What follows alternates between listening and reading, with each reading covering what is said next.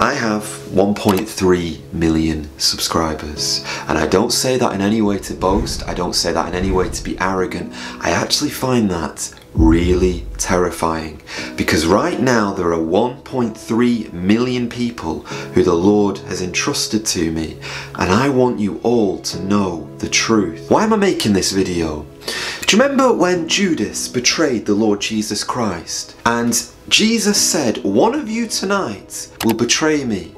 What did all the disciples do? They said, Is it me, Lord? Am I the one who's going to betray you? In other words, they were examining themselves. In other words, they were testing themselves. In other words, they sort of doubted, could I be the one who would forsake the Lord? And I want to ask every single one of you, and myself included, do we really know the Lord? You've probably heard the most terrifying verse in the Bible as it's been popularly named, and it's this verse. On that day, many will say to me, Lord, Lord? Did we not cast out demons in your name? Did we not prophesy in your name? Did we not do this and that? And I will say to them, Depart from me, I never knew you, you workers of iniquity. And I believe there are many Christians who talk the talk there are many Christians, perhaps this could even be for me myself, that have a million subscribers. Yes, we know how to get a million subscribers, but we know how to do ministry. We know the right theology. We know the right answers. We know how to preach the gospel. I've led many souls to Christ, but do we know the Saviour Himself? And that is a question I, I plead with you right literally now. I beg you right now to ask yourself, do you know the Lord? Do you know Him personally? We've all met those couples who they spend a lot of time with other people, they spend a lot of time on their careers, but when it's just them two together, alone, they have awkward silences. They don't know how to connect because they don't know each other. And really, that's the question I'm asking you right now. Do you know Jesus Christ? Is the Spirit of God inside of you right now and there's a yearning to be nearer to Him? There's a yearning to be close to Him? Or is your Christianity made up of watching YouTube videos, Instagram reels, and spending time with Christians in church? Because the reality is this, and I'm not judging anyone, but I do want to say this very honestly. I meet people on the streets and they come up to me and they say they, they watch my videos and if that's you I don't want you to be suddenly really anxious thinking is he talking about me? I'm just speaking very broadly right now. But when they speak to me and I hear about their lifestyle and I hear words that come out of their mouth I wonder is there a desire for holiness? When I look at my own life Something has crept up on me that would probably be the biggest sin I'm committing right now, and it's just total procrastination, total wasting my time on social media. I remember a couple of years ago when I didn't have any internet connection in my house. I used to film my videos in my office, and then I used to go to a place called Costa Coffee, a coffee shop, and there I would use their Wi-Fi to post the videos online. And back then, I didn't fritter my time on social media. Back then,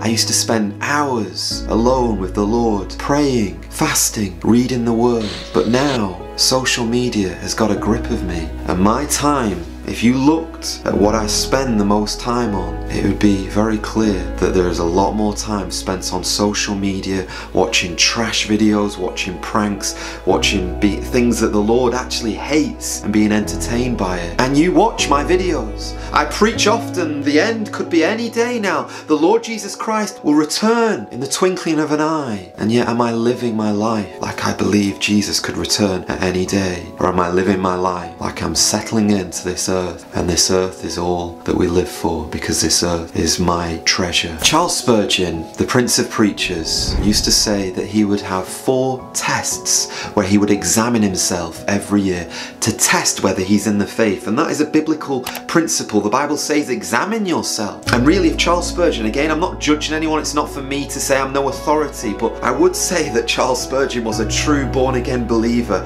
I really do believe that man loved the Lord, and yet if he was willing to examine himself, should you and I not also be doing these tests? Again, why am I saying this? I will have people on Instagram who'll follow me and say, oh I love this man's videos or amen brother. You click on their profile and then they have a, a Bible verse in their bio. You do a bit of scrolling and I don't say this to embarrass anyone but, but the pictures that you see on their Instagram those pictures would be, if you like, wild enough that when I was a young boy growing up, when we used to go into magazine shops, you'd have sort of the wildlife magazines, the sport magazines, the football magazines, and then on the top shelf you had magazines that were rude, and they were so rude that they would put a filter over those magazines so you couldn't see them. And actually, some of the images on people who are professing to be Christians, those images could quite easily go on the magazines that would be in those stores. Guys, again, I'm not judging you, I'm just asking you because I feel the Lord would want me to say this right now. Is there a desire for holiness? Is there a desire to be like the Lord Jesus Christ? I read in the comment boxes people saying OMG, and you know that that is breaking one of the Ten Commandments. Do not take the Lord's name in vain. Don't make the name of the Lord common. And if it's so easy for us to say OMG, to, to say Jesus Christ, we've got to really check our minds. Are we using the Lord's name in reverence that when I say God Almighty, when I say Jesus Christ, when I say Yahweh, we are talking about a holy, holy name who has put breath in our lungs right now. And guys, I'm sorry if this video, it's not scripted, it's messy, it's incoherent. I didn't plan to make a video today, but I just think I need to say this to you right now. And I just ask, he who has ears, let him hear. Please listen to what I'm saying. If I've spoke nonsense, if I've spoken trash, just dismiss whatever I say. And I do pray, if that is the case, that the Lord will just wipe everything I said from your mind. I don't want anyone to, to who's, who's truly saved to go away from this video